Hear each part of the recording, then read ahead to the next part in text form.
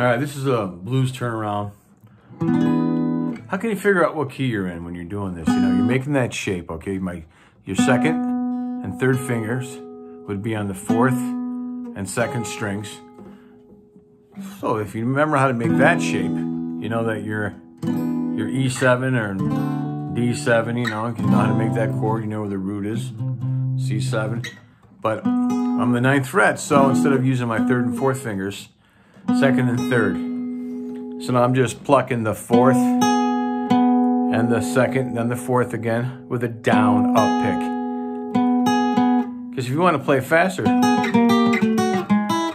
so much easier than going down, down. You got to go down, up, down. Seventh fret, I mean ninth fret, ninth fret, E7, fourth and second strings, fourth, second, fourth. Now I'm on the eighth fret, that same shape, fourth and second strings. Now what changes here?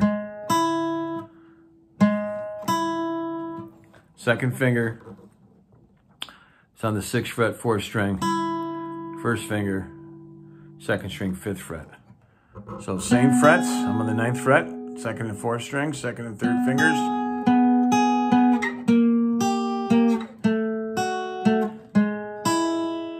Say that you're doing something like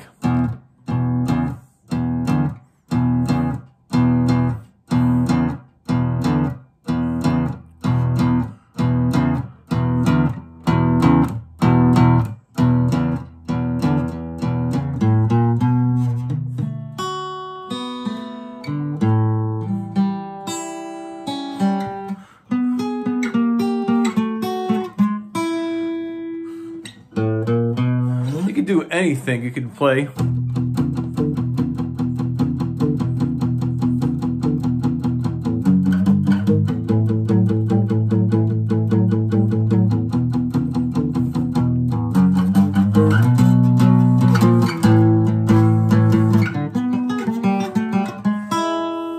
Okay? Just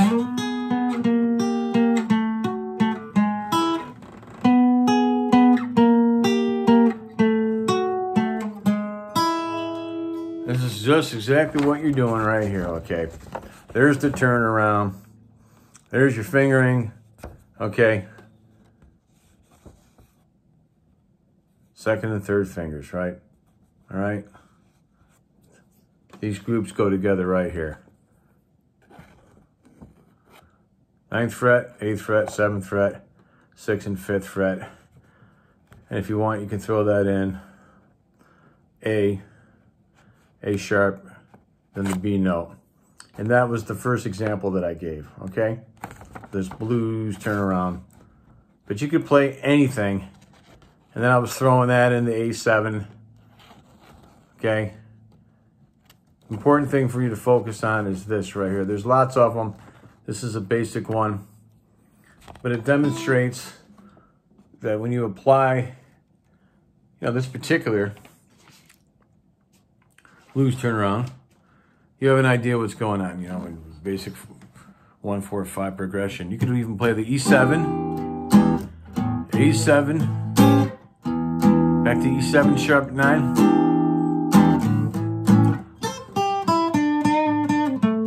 Throw in a couple of these.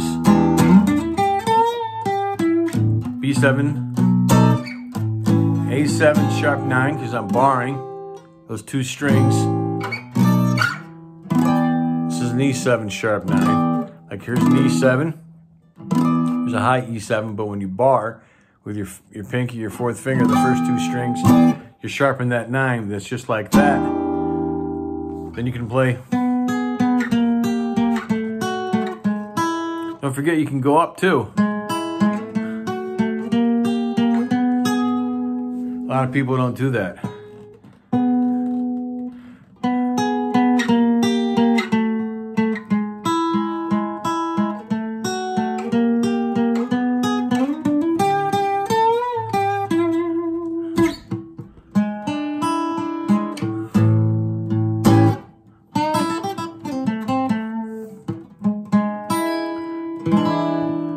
E7, just like the C7 you see.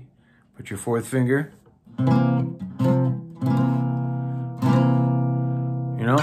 On the third string. Same fret as your third finger. B7. B, B flat 7. A7.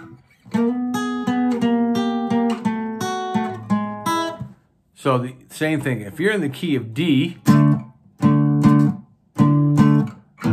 right here, to G,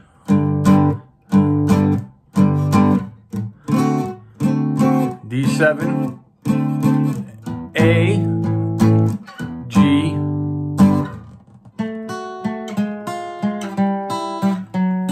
whatever key you're in, go to this shape right here. That's how you know. So you can play a blues turnaround in any key. Say if I'm in G, right? So I can play a G to C. That's the one, four, five progression. G, C to D, which is the five. C's the four, G's the one. But I'm gonna go to this shape.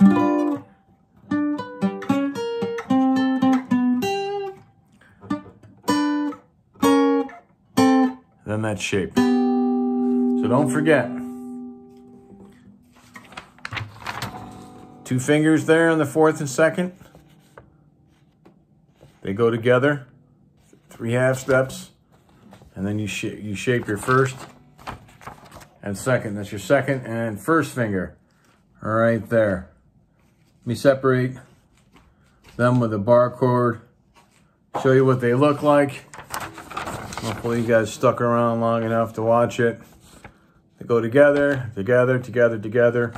That's how you can play a blues, turn around, okay? That's it. That shape right there. Make the bar chord. Third finger and the fourth finger. So on the fourth, second strings, but when you're doing the blues turnaround, second and third finger on the fourth string, second string, third finger. Hit that fourth string, second string, fourth string, go down a half step. Same picking pattern. And now keep the second finger, but the, instead of using your third finger there, use your first finger, a half step below it. You can go up as well. Well, hope you enjoyed this video. If you did, please like and subscribe. Keep playing and have fun.